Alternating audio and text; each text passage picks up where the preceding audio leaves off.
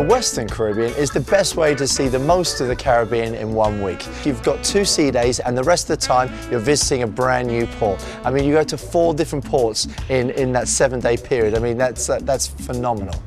The first uh, island we go to is actually a private island destination of Labadee. Now, this is a peninsula of Haiti and uh, it really is just an incredible experience. We've got parasailing, uh, we've got snorkeling, there's a dragon coaster uh, built through the mountains, the world's longest overwater zip line that we've got there.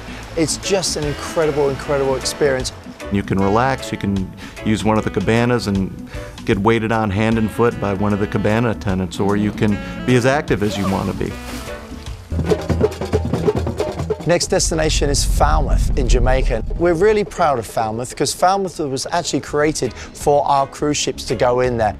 Here you get introduced not only to the Caribbean um, beautiful water, but also Falmouth is surrounded by beautiful jungle, forest, and uh, there are many tours that take you up into the mountains. But the great thing is you're close enough to all the main places. You can go to Dunn's River Falls, you can still go to Montego Bay. They're still close enough. That's phenomenal.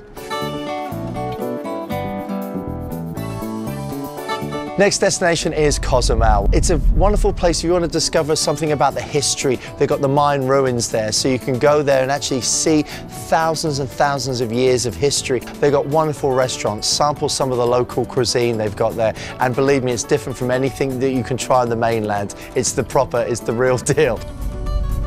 Grand Cayman is very famous for its stingray city. You can come and be in the shallow water on the sandbank and actually interact with the stingrays. You can touch them, you can hold them, and they love people. They love to be caressed, they love to be played with. So um, I love to go out there once in a while, and it just gives you such a beautiful touch with nature. I think Western Caribbean gives you a flavour of all these different places to go to, and that to me makes that, wow, now that was an interesting experience. It's the combination of the physical ship the service that our crew provide, and the destination experience in Labadee and the other ports that will make it pretty much the greatest vacation around.